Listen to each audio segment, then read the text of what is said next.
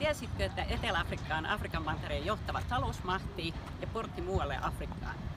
Tämä on maa, jossa tulevina vuosina investoidaan kaivoksien modernisointiin, uusien kaivoksien ja kaupunkien rakentamiseen, ICT, maataloussektorin tehostamiseen, digitalisaation ja osaamisen tason nostamiseen läpi sektorille. Olen Tuija Pulkkinen ja toimin täällä Etelä-Afrikassa. Ja tiedän 20 vuoden kokemuksestani, mitä tarkoittaa avata uusia markkinoita ja miten paljon työtä se vaatii. Afrikka aukeaa yhteistyöllä parhaiten paikallisen kumppanin kanssa.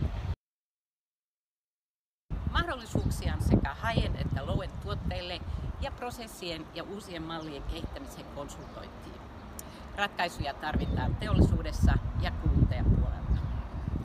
Etelä-Afrikka on samassa aikavyöhykkeessä kuin Suomi. Täällä pärjää englannin kielellä ja pankkisektori on hyvin kehittynyttä, joten maksuliikenne toimii. Täällä on dynamiikkaa, täällä on kasvumahdollisuuksia. Ota ihmeessä yhteyttä, keskustellaan lisää mahdollisuuksista. Sähköpostini on tuija.pulkkinen at. Tervetuloa mahdollisuuksien maahan.